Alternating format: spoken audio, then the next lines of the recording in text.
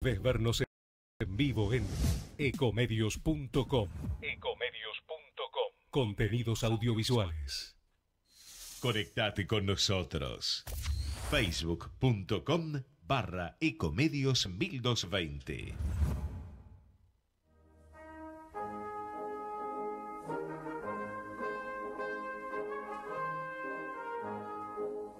Aquí damos comienzo a Italianos y sus negocios, un programa dedicado a la promoción de negocios de empresas italo-argentinas, a las oportunidades comerciales procedentes de Italia, inversiones, productos, música, entrevistas y buenos negocios. Promueve la Cámara de Comercio Italiana en la República Argentina. Producción general Arturo Curátola. La Cámara de Comercio Italiana en Argentina ha creado la categoría de socio digital para que desde la distancia las empresas pymes y profesionales puedan acceder a oportunidades comerciales, cursos online y asesoramiento gratuito en comercio exterior, economía, créditos y legales. Comuníquese al 011-481-65900, 011-481-65900 o enviando un mail a ccibaires.ccibaires.com.ar. Asociese, los esperamos.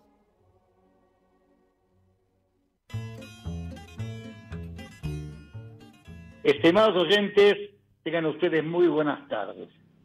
Y les habla Arturo Curátola de dar la bienvenida a este nuevo programa de Italianos de sus negocios, que como decimos permanentemente, este es el programa de la Cámara de Comercio Italiana en la República Argentina. Cámara que este año cumplirá 137 años. Este programa es conducido por el doctor Francisco Tosi, que supongo que me está escuchando. Te estoy escuchando perfectamente, Arturo, y espero que la audiencia tenga la posibilidad de escucharme a mí con la misma claridad y nitidez. Doy unas buenas tardes también a nuestro gran operador Gerardo Subiraga, que sin él no podríamos estar haciendo este programa porque todos saben que todavía por las limitaciones imperantes, tanto Arturo como yo, cada uno está en nuestras casas respectivas y el pobre Gerardo tiene que arbitrar todo el tráfico desde el estudio. Efectivamente, y también el entrevistado, que va a venir después de la misma manera, ¿no? no, nos, no nos vemos y hacemos milagro. Bueno, pero esperemos que las cosas salgan bien. Bueno, ¿qué tenemos para hoy entonces? Hoy tenemos a dos invitados, Gianfranco Cini, del grupo Cini, que son eh, especialistas en comunicaciones, tanto al consumo como la integración de soluciones. Nos va a contar una historia de las que te gustan a vos, Arturo, desde San Juan al mundo, desde Reggio Emilia a San Juan, tenía que haber dicho al revés, desde Reggio Emilia a San Juan y de San Juan al mundo, y ya está la prácticamente la tercera generación trabajando en el negocio, así que eh, esperamos que en unos pocos minutos vamos a tener una entrevista muy interesante. Y luego, como segundo invitado, Viviana Ochoa, que eh, ella es la mm, directora comercial de posgrados en comercio, en la diplomatura de comercio internacional de la Facultad de Ciencias Empresariales de la Universidad Austral. La presento así esta vez nada más porque es, un poquito largo, pero va a hablar de los talleres que se van a promover en conjunto con la Cámara de Comercio Italiana y varias cámaras binacionales. El primero de ellos va a empezar justo el día antes que nuestro próximo programa, el 10 de marzo, y eh, la inscripción está abierta. Y luego, como es habitual, nuestro eh, secretario ejecutivo, director ejecutivo, Claudio Farábola. Arturo, vos tenías una, una acontecimiento centenario. Sí, no, digamos, es para mencionar algo que pasó hace días en Brasil y que Cabe mencionarlo, porque a veces cuando la gente dice no tengo trabajo, no encuentro trabajo, la inventiva y la buena voluntad siempre prevalecen cuando uno quiere encontrar trabajo. Entiendo que hay circunstancias especiales y no lo permiten, pero voy a contar el caso de Doña María, 101 años. La mujer le gusta el vino y entonces le dijo a la nieta que ella quería tener, digamos, no depender de nadie, quería tener, bueno, su platita. Entonces dice, mira, me haces un currículum porque ella es analfabeta pero creo, un currículum. Dice, pero abuela, ¿cómo voy a hacer un currículum para usted. ¿Usted qué quiere hacer? Y yo quiero vender algo, quiero trabajar en algo, quiero tener independencia. Y ahí en la zona donde doña María vivía con su familia, bueno, hay una, industria de, carne, ¿no? Bueno, la mujer le preparó, la, la nieta le preparó, la nieta le preparó, por supuesto, su currículum y empezó y se lo mandó a, bueno, a la persona responsable de recursos humanos. Se sorprendió y dice, siento una que trabajar, ¿qué hago yo ahora? Bueno, dos personas redes para ver qué pasaba. Dice, bueno, alguna novedad, bueno, todo el mundo cuando ve una mujer de 101 años que quiere trabajar, se movilizó todo el mundo y las redes, por supuesto, se viralizó. Bueno, esta mujer dijo, voy a ver si hay una respuesta. Y la hubo la respuesta. ¿Cuál fue? Bueno, como mencionaba ella, que, consume el vino, quiere pagárselo ella y no, y no quiere que se lo paguen los hijos o los nietos, entonces de pronto una empresa, un tal eh, Diego Cortés, dueño de una empresa vitivinícola, dijo, yo quiero hablar con la señora. Hicieron una videoconferencia y le dijo qué vino tomaba, qué hacía, entonces, ¿cómo la contrató? Como influencer. Y la hizo de tal manera que ahora se están peleando las bodegas para que la mujer pruebe su vino y le dé la opinión. Bueno, obviamente el empresario vinícola le va a pagar un salario mensual y ya ahora tiene una cantidad de ofrecimientos realmente importante. En una palabra, cuando uno quiere, puede. Y hay que trabajar duramente para lograr los objetivos. Estamos hablando, ¿no es cierto?, nada más y nada menos de una persona de 101 años. Le damos la bienvenida entonces este, al invitado Gianfranco sí, Buenas tardes. Sí, Arturo, justamente le damos la bienvenida a Gianfranco buenas tardes, Arturo, mucho gusto. Sí, discúlpeme Gianfranco que le hago la presentación. Eh, mucho gusto, soy Francisco Tosi, yo lo quería presentar a la audiencia como el grupo CINI, que tiene dos líneas de negocio, consumer e integración de soluciones, cuya, que están en San Juan, pero cuya característica justamente es la innovación. Y yo le voy a pedir, como para empezar en nuestra conversación, que usted nos cuente de dónde esas raíces italianas, cómo han ocurrido su padre, su tío, cuando vinieron desde Reggio Emilia en 1949 hasta hoy. Bueno, con mucho gusto, inclusive yo también he venido con ellos. Primero vinimos mi padre, mi madre y yo en el año 49 y en el después dos años vino mi tío Franco, que también integró la, la empresa acá en San Juan, en Argentina. Mi papá en Italia tenía su negocio distribuidor de Radio Marelli y de y de Philips en, Reggio Emilia. Este, tenía un establecimiento muy bien organizado y funcionaba muy bien, pero él desafortunadamente tuvo que hacer la guerra, igual que mucho italiano en esa época. Estuvo en África tres años. Bueno, eh, cuando llegó a Italia, que terminó la guerra, en el 46 nacimos muchos descendientes y ya se empezó a hablar de, en, la, de la Tercera Guerra Mundial, lo que a él no lo podía soportar esa nueva posibilidad, entonces decidió emigrar a Estados Unidos, que teníamos parientes. Estados Unidos no, no nos dejó ingresar porque teníamos que hacer dos años en cualquier país de América y después recién podíamos volver. Entonces en Argentina, en San Juan, había otra tía de mi mamá, una obstetra eh, recibida en la Universidad de Bolonia, muy relacionada con todas las familias de, grandes empresarios, sobre todo viñateros de acá de San Juan, y nos ofreció su, una casa, el local para poner el negocio, y bueno, entonces aquí emigramos y llegamos a San Juan finalmente en el año 49. Y ahí empezó de nuevo la actividad mi padre este, hasta que aprendió el idioma tuvo que hacer unos trabajos porque la tía también tenía una empresa constructora, entonces hacía todas las instalaciones eléctricas de las casas que fabricaban hasta que aprendió el italiano, el, perdón, el español.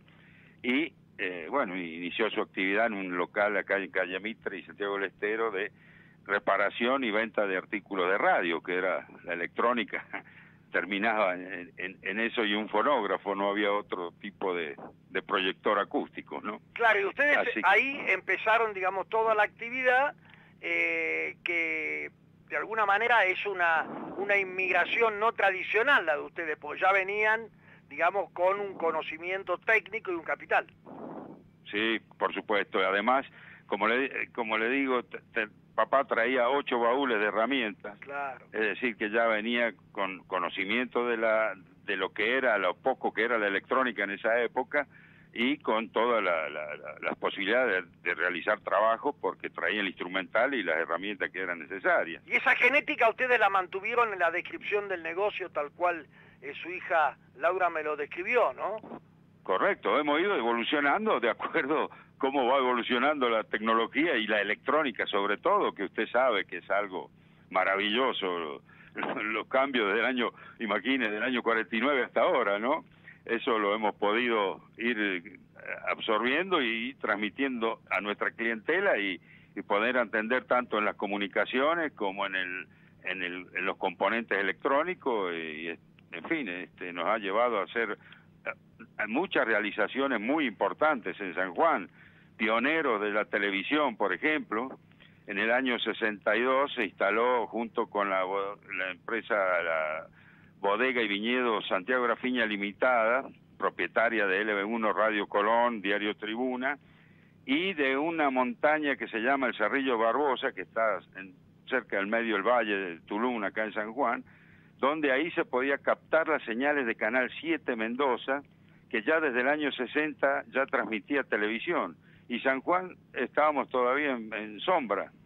Entonces se, se fabricó el repetidor de televisión acá en nuestro local, nuestro laboratorio, y se instaló en el cerro de Barbosa, propiedad de la empresa Grafiña, que eran muy apasionados de las comunicaciones.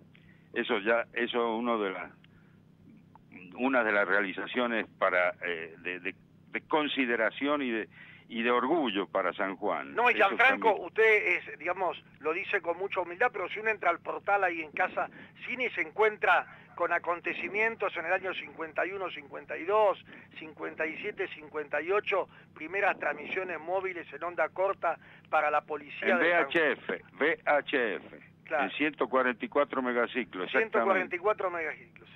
Y después, en onda corta, como usted dice, se hizo los primeros dos patrulleros de la policía de San Juan, que eran estancieras, ICA. Cuando ICA en el año 57, 58 inicia las actividades de fabricar Claro. automóviles, fabricaba la estanciera y los jeep.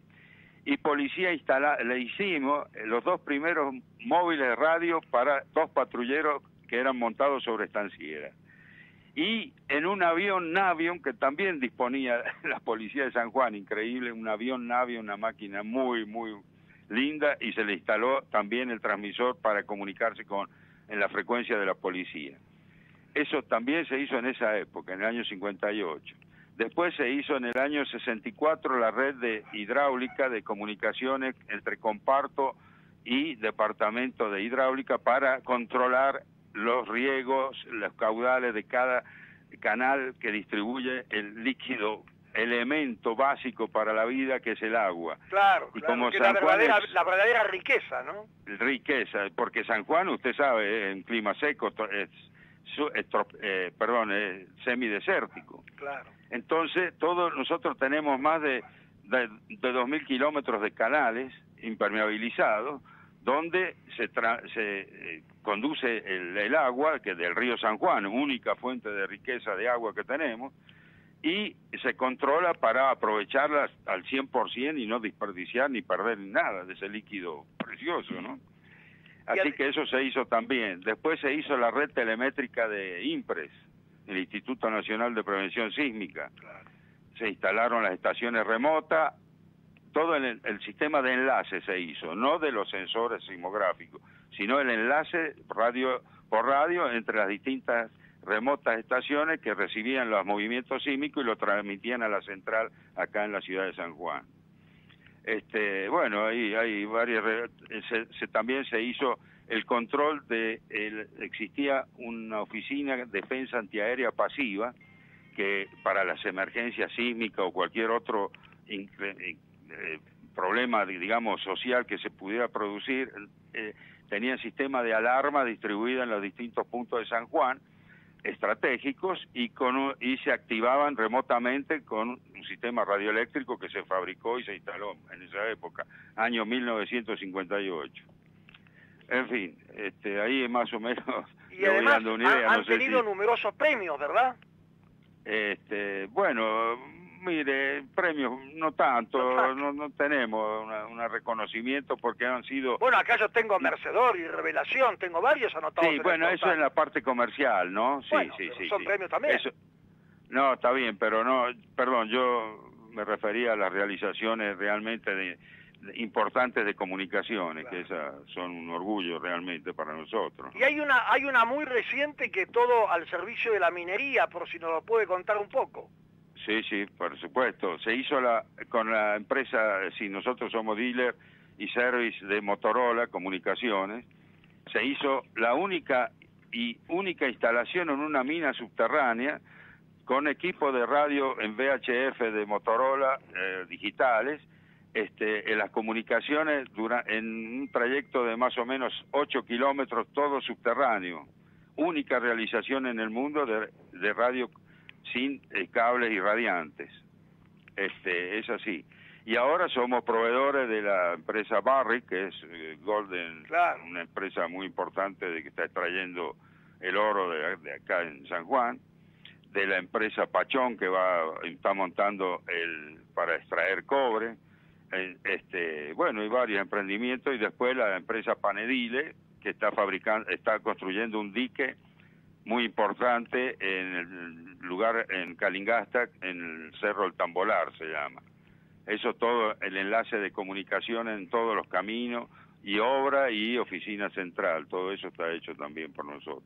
Bueno, eso es una verdadera, digamos, un verdadero panorama de, lo que fue la historia. ¿Por qué no nos cuenta cómo está armado ahora el grupo? Usted decía, hay una parte comercial, una parte de innovación, una parte de ingeniería de soluciones. Exactamente, sí señor, es eh, efectivamente así. Y eh, bueno, y ahora ya viene la otra etapa de, de los descendientes míos, que es mi hija Laura, que es, eh, bueno, es funcionaria, por supuesto, acá de, la administración, y Marcelo, que es un técnico, es decir, realmente bien concebido porque es capaz de manejar la nueva tecnología que es el, soft aplicado a la radio de dos vías de comunicaciones. Y con eso se han hecho realizaciones muy, muy interesantes, que son las que yo lo he mencionado, gracias a que Motorola ah, eh, invita a su dealer y los lleva a puntos donde se exponen las tecnologías que ellos producen, que son innovaciones fantásticas, y lo llevan a cualquier parte del mundo para darle estas informaciones. Y eso siempre Marcelo ha estado presente en distintas partes del globo. Claro, y ustedes tienen hoy, digamos, un negocios que son eh, que están en shopping, que algunos están en el Sí, sí, esa es la parte comercial exactamente. ¿Y ahí qué venden, Gianfranco? Todo lo que es todo lo que es, es eh, computación, este televisión, este radio, eh, todo lo, que es inherente a la nueva forma de, de, de digamos de comunicación doméstica, eso, a eso me refiero.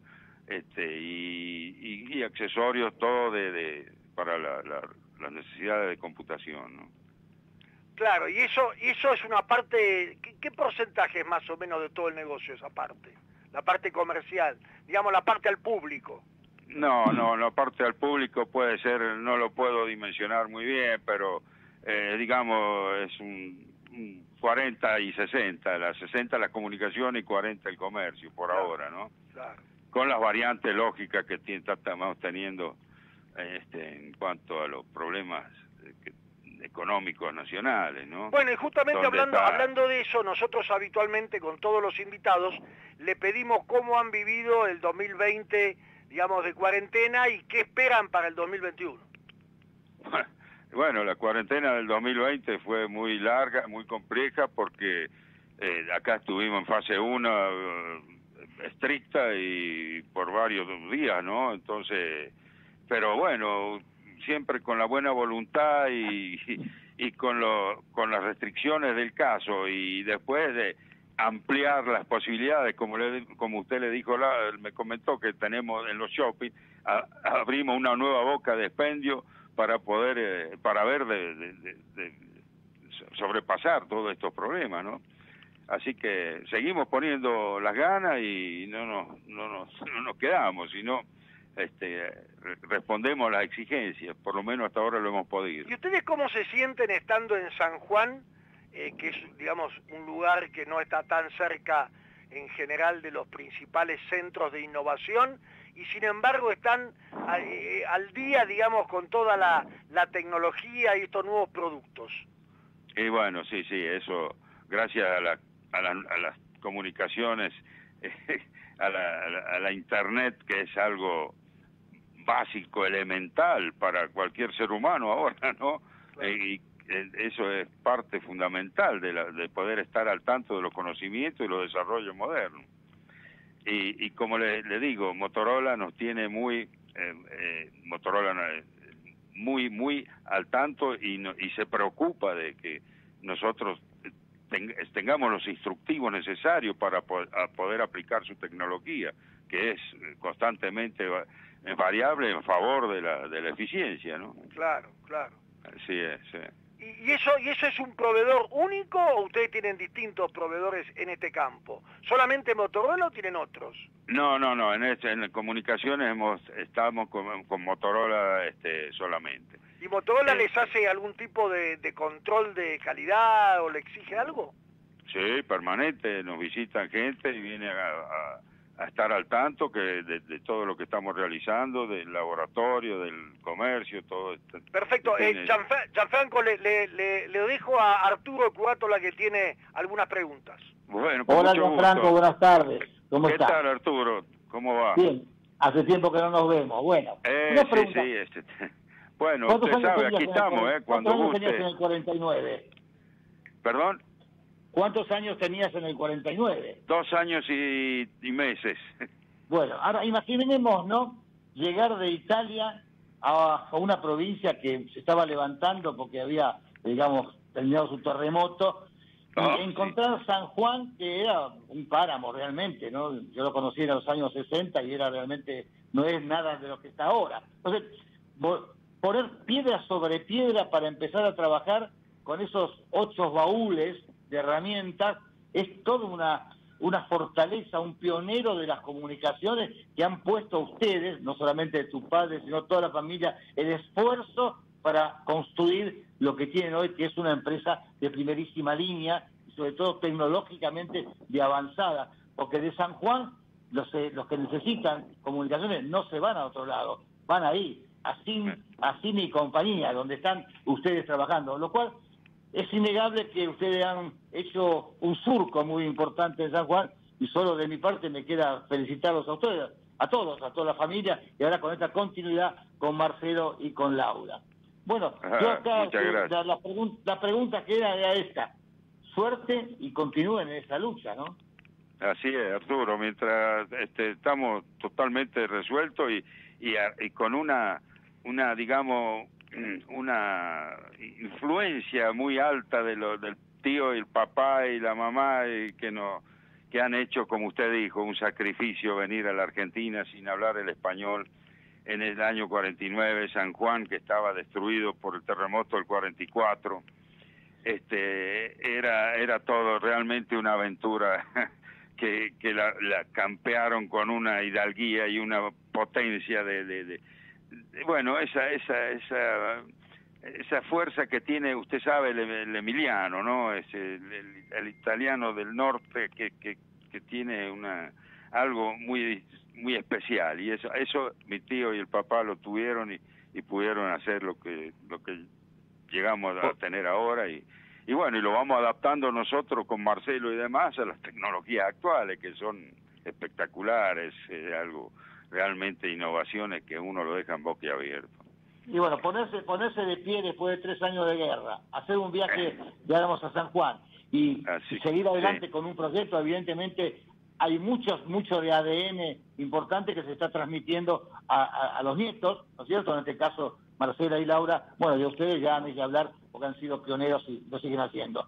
Bueno, lo despedimos. ¿Qué te parece, Francisco? Mira, eh, le tenemos que agradecer a Gianfranco Cini, eh, eh, propietario del, del grupo Cini, también a, su hija Laura, que ayer nos ha dado grandes explicaciones, aparte que tienen un portal realmente muy moderno, muy amigable y con muchísima información. El que vaya al portal se va a dar cuenta todo lo que ha quedado sin decir y por supuesto le deseamos a Gianfranco Cini buen labor. Por acá nosotros quedamos, este, Gianfranco, en QAP y te saludamos con un QSL. QAP, QAP, ok, comprendido. Arturo, un abrazo grande, muchas gracias por la entrevista. Espero haber podido dentro de mi capacidad de expresar, pero hay hay mucho sentimiento en ello y por ahí me he extendido demasiado. Pero No, puedo está- seguir está- más, eh, tengo más, anécdotas, emocionante, pero emocionante, Está, para la per- está perfecto, muchas gracias, vamos al cierre. Gracias por tu tiempo, gracias. Gracias. Dale. Bueno, vamos entonces eh, a la publicidad, mi querido amigo ahí que su, su mirada. Sí, señor. Ecomedios.com AM1220. Estamos con vos. Estamos en vos.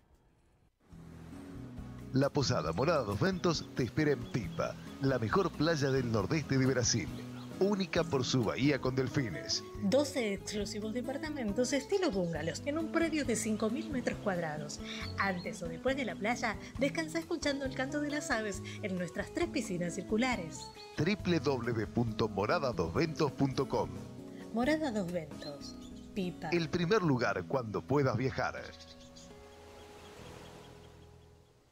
No aplaudamos al mosquito, combatámoslo en serio. Para combatir el dengue, el zika y el chikungunya, evitemos que los mosquitos piquen y se reproduzcan. Usemos repelentes, coloquemos tules en la cuna de los bebés y demos vuelta a contenedores para que no se acumule el agua. Si tenés fiebre alta, dolor de cabeza y dolor muscular, no te automediques y acudí al médico. Encontrá más información en argentina.gov.ar. Argentina Unida, Ministerio de Salud, Argentina Presidencia. Podés vernos en vivo en ecomedios.com. Ecomedios.com. Contenidos audiovisuales. Conectate con nosotros. Contestador 5 254 2353.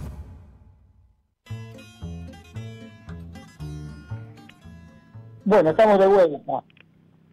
Pues sabés que me pongo contento por la, por la gente de la provincia de Formosa, porque los estatales le dieron nada más y nada menos que 42% de Exactamente, aumento. 42% y se quedaron cortos porque seguro en lo que va del año le van a dar de vuelta, ¿eh?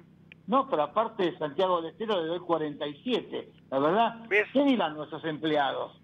¿Cómo le podemos justificar que un país, no, pero una provincia que no produce le dan semejante aumento y nosotros que tratamos de producir no llegamos a darle lo que corresponde, digamos, por lo menos con el costo de vida? Realmente es doloroso que esto se vea de esta manera, porque es un desmedro permanente de la actividad privada. Pero vamos a alguna noticia positiva. Mejor, sí. Invertirá 500 millones en tecnología sustentable. Bueno, tuvo una muy buena ganancia y dice que a través de sus 17 plantas que posee en toda América Latina, dice sobre todo en la fábrica de San Nicolás, en la provincia de Buenos Aires, invertirá esto en los próximos años para darle tecnología sustentable. Digamos que los langostinos, es un fuerte nuestro, la pesca langostino, este, Brasil volvió a autorizar la importación de langostinos argentinos que estaba suspendida desde el año 2013 a causa de una medida cautelar. La exportación de langostino comprende un volumen exportable de unos 50 millones de dólares anuales, bueno, que beneficia especialmente a Chubut y Buenos Aires. Digamos que es muy interesante este tema, ¿no? Hay un superávit comercial porque estamos hablando con Brasil por tercer mes, por tercer mes eh, consecutivo. No es muy importante, pero supone que hay este, un, un comienzo de la actividad. Justamente ¿por qué? Porque el Mercosur cumple 30 años y en medio, en medio de una crisis de identidad que puede llevar, digamos, a un cambio. El cambio debería ser una mayor apertura, porque hoy en día todavía hasta Inter-Mercosur suele haber bastante problemas, digamos, para resolver cuando hay una importación.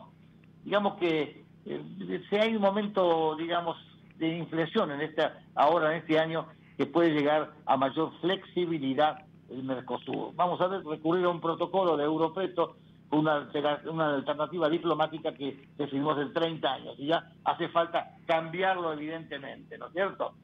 El sector automotriz, bueno, prevé que litio y agroindustria son proyectos futuros. Digamos que más allá de todo lo que ha pasado hasta el presente, se planteó una agenda de crecimiento y que está muy bien planteado, digamos, para darle sobre el litio y la agroindustria un crecimiento a la industria automotriz. Vos sabés que estaba leyendo sobre el tema de olivícola, ya que estábamos en San Juan, y hay un descalce, llamámoslo así, entre precio y costo. ¿Cuál es uno de los mayores problemas que tienen para los costos?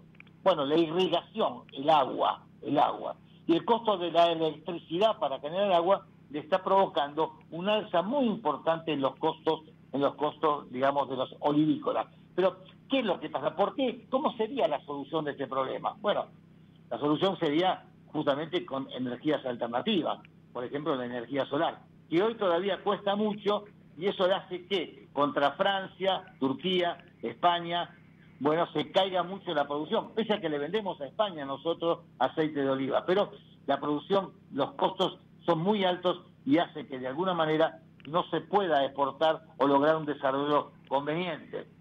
Hay en Argentina 90.000 hectáreas de olivos y que rinden un promedio de 8.000 kilos por hectárea, pero hay plantadas para lograr 720.000 kilos, o sea que estamos hablando de algo muy importante y tenemos la posibilidad de seguir este, creciendo.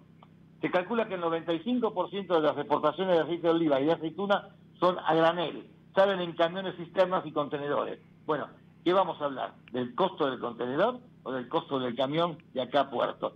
Todo eso hace que estemos de alguna manera detenidos en este crecimiento, porque fíjate una cosa simple, ¿no?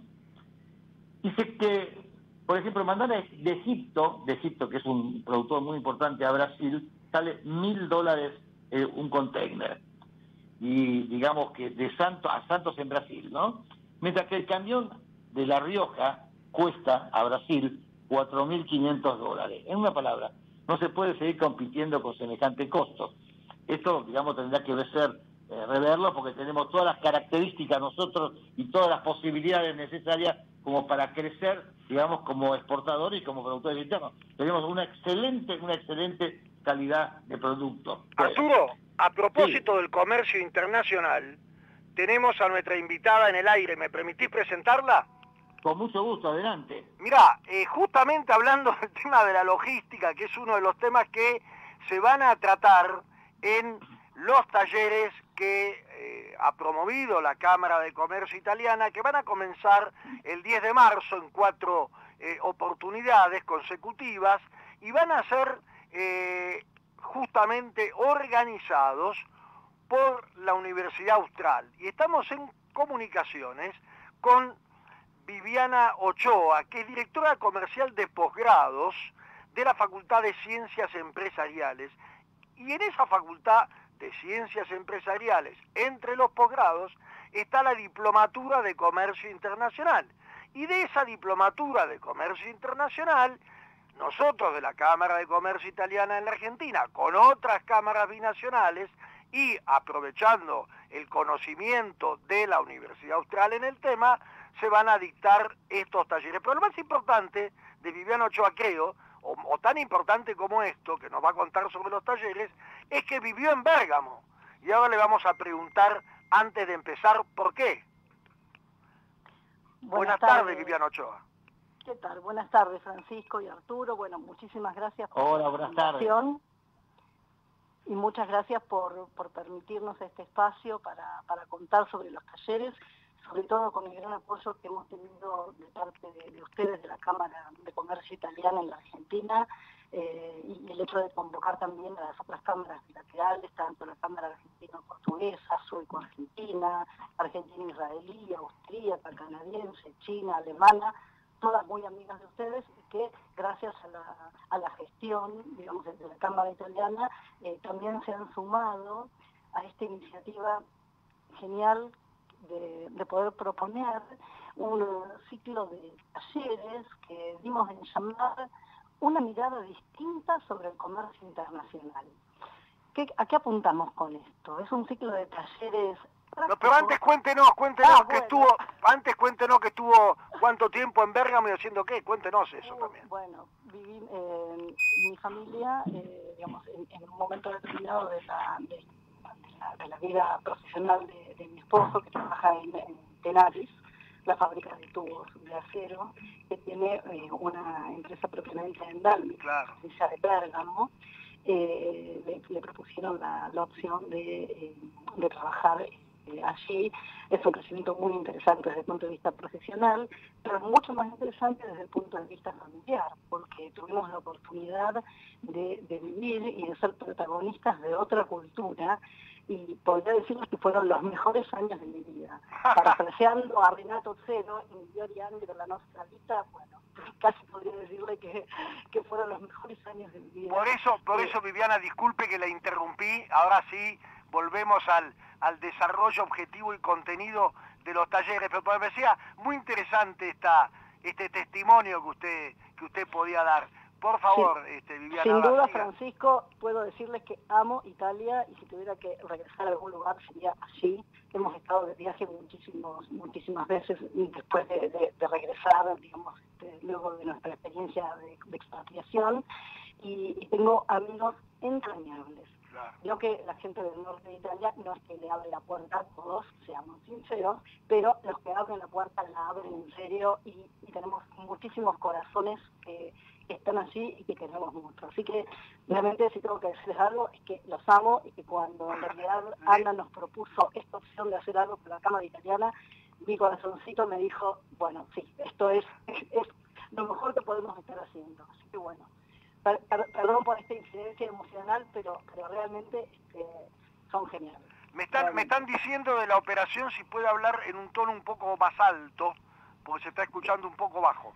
Sí, tuve un problema con mi teléfono fijo y ah. estoy solo con el celular, ah, así que posiblemente sea eso. ¿Ahora está mejor? Ahora está un poco mejor porque queremos que la audiencia esté muy interesada en inscribirse, lo pueden hacer como socios digitales, que es una nueva categoría que tenemos en la Cámara y que nos puede acercar porque hoy con esta emergencia sanitaria estamos todos pendientes de las redes de comunicación electrónica. Adelante, Viviana, nos cuenta el taller.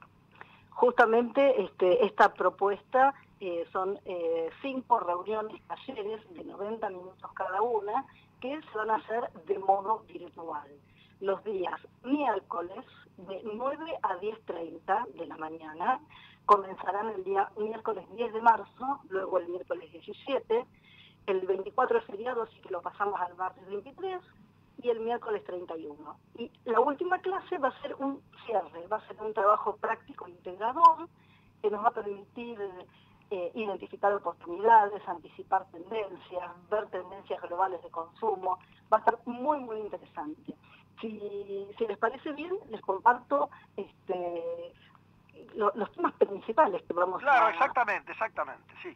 Bien, en principio, digamos, como les comentaba anteriormente, estos talleres eh, son de, carácter netamente práctico y van a brindar herramientas que nos van a servir para anticipar tendencias y poder formular, diseñar e implementar estrategias de diferenciación. Y, la idea es poder explorar distintas oportunidades desde la óptica del conocimiento profundo de cuántas limitantes hay aquí en Argentina y cómo proyectarlas a través de digamos, de, nuestro país, de la región, de los principales bloques económicos, y hacer especial énfasis en el futuro acuerdo que rogamos que se firme de Mercosur-Unión Europea, y también su relación con Asia-Pacífico. La idea es que eh, después de hacer este taller, o sea, ¿cuáles serían los entregables o qué se llevarían puesto? Nosotros tenemos la intención de abrir la mente, de abrir los horizontes, de salir de la zona de confort, de tratar de, introducirnos de alguna manera en un pensamiento más estratégico, de tomar las operaciones como una herramienta de productividad, de las operaciones, digamos, de, todas las empresas, tomarlas como una filosofía justamente de competitividad, de poder identificar de alguna manera cuáles son las improductividades que hay en la cadena de valor eh, y encontrar, por ejemplo, índices de medición, establecer la forma de hacer un seguimiento, diseñar una distribución global inteligente, sumándome a lo que hablaban respecto de la logística, la logística, operaciones, eso van a ser abastecimiento estratégico, distribución global, economías de escala, todo eso van a ser foco específico también se van a ver casos de éxitos y fracasos, ¿verdad? Por supuesto, tal, tal como, como, como usted dice, Francisco, se aprende tanto de los casos de éxito como de los casos de fracaso. Y la idea es tomar universidades tradicionales y escuelas de negocios tradicionales, pero también algunas de países emergentes, y, y ver, digamos, cómo estos bloques regionales tienen experiencias distintas, ¿no? Y, y cómo podemos aprender de todas esas experiencias.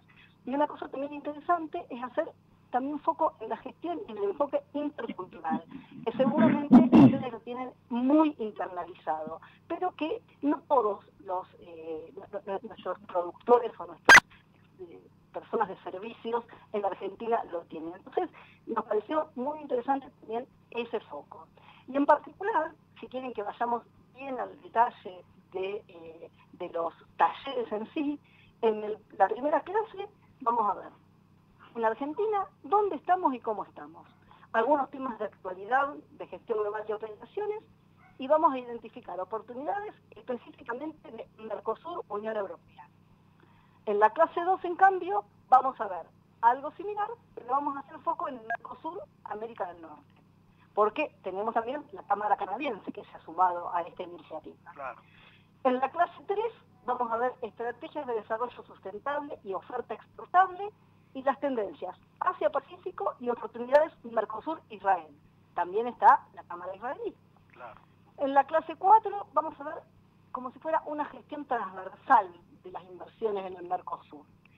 Y la última clase la vamos a, eh, reservar para hacer un trabajo práctico integrador, que va a tener una devolución de parte de Alejandro Welbers, que va a ser el, que desarrolle toda la actividad de capacitación, él es el director de la diplomatura en comercio internacional, es una persona increíble, tiene 40 años de experiencia profesional, formación y ha vivido en varios de estos países, desde Canadá, Suecia, Alemania, bueno, ha estado en un montón de lugares y es una persona que tiene en la mochila tanto para dar y aparte es sumamente generoso porque quiere compartirlo.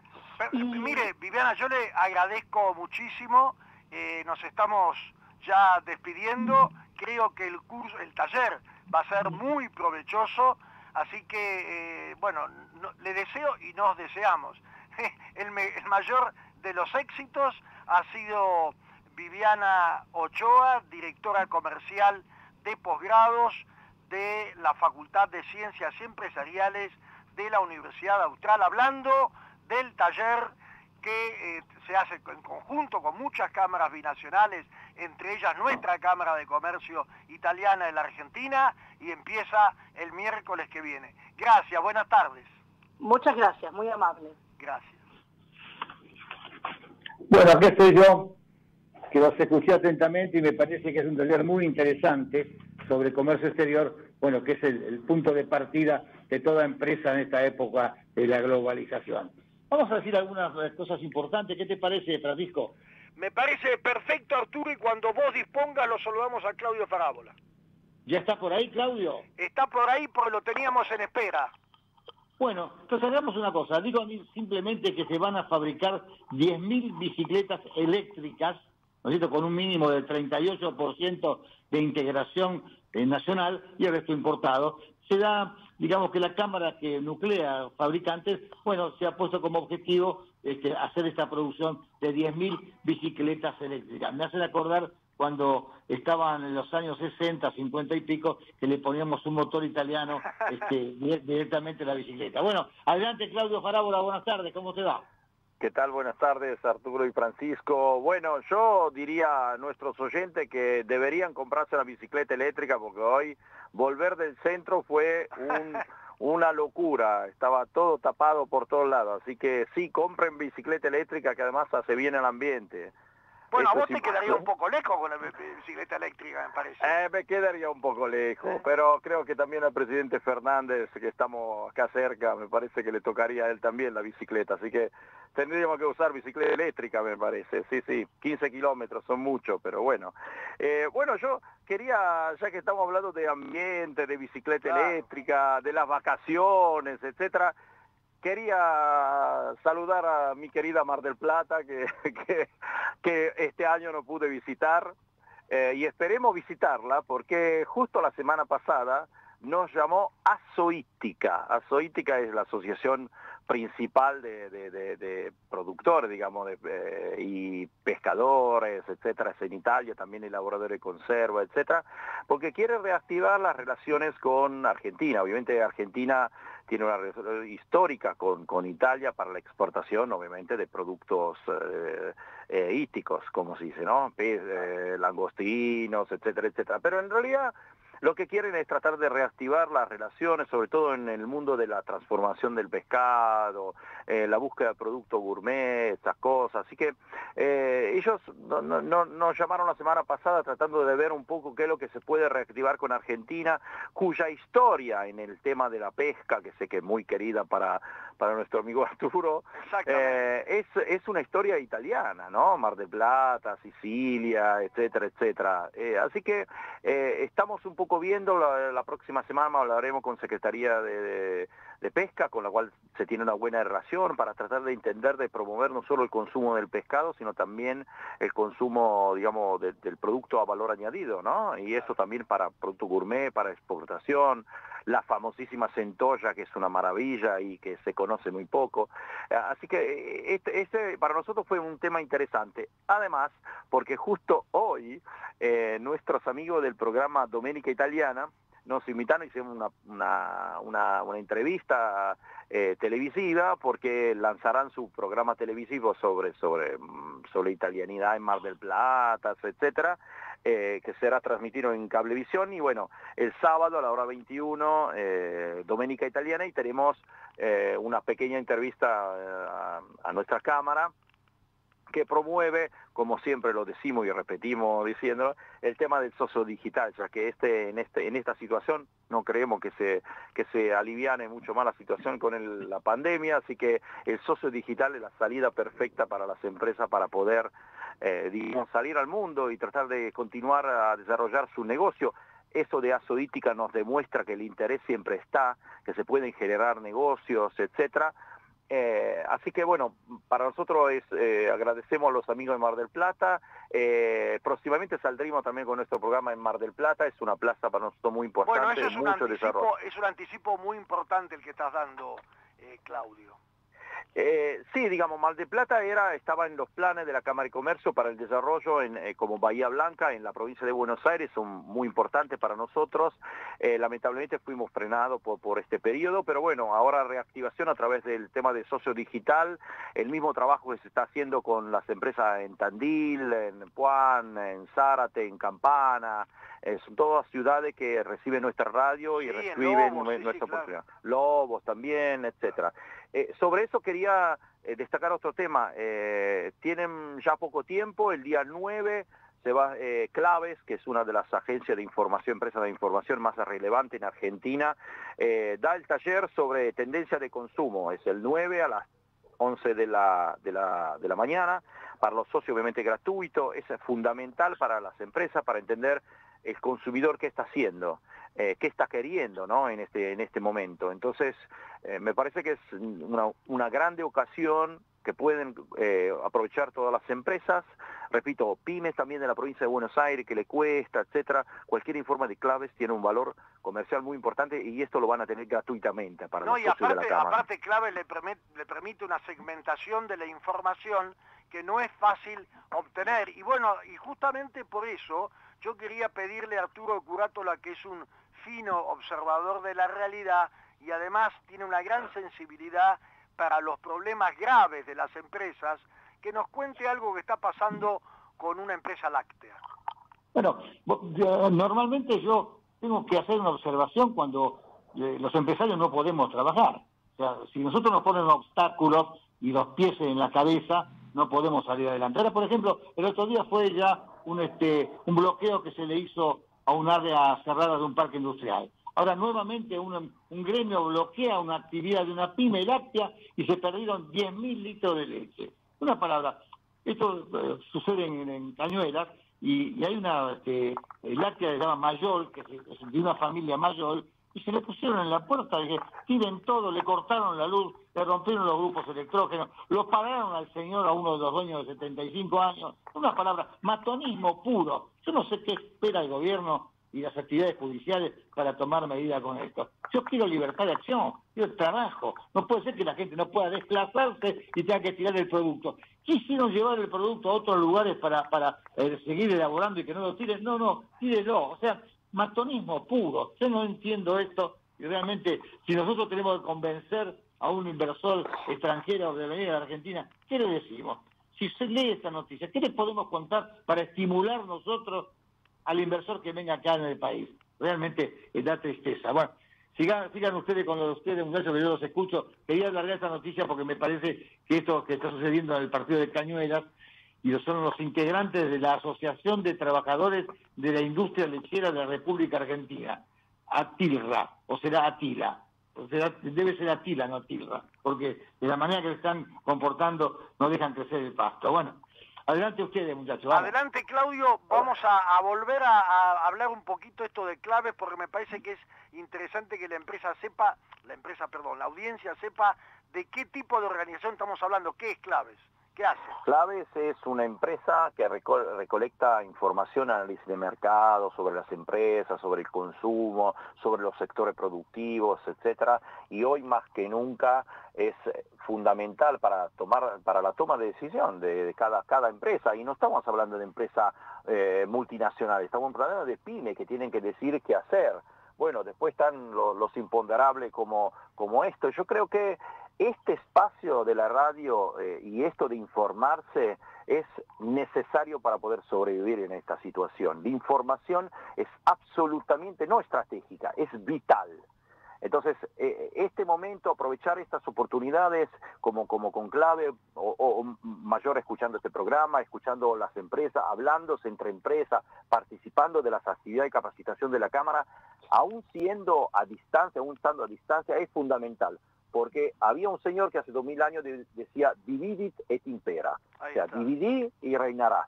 Entonces, esta manera, esta posibilidad de poderse hablar aún estando a distancia, nos hace sentir parte de un grupo, y el grupo es fundamental para, para defender y para promover, ¿no? Eh, ayer estábamos en la delegación europea y estamos hablando, analizando sobre el sistema productivo europeo.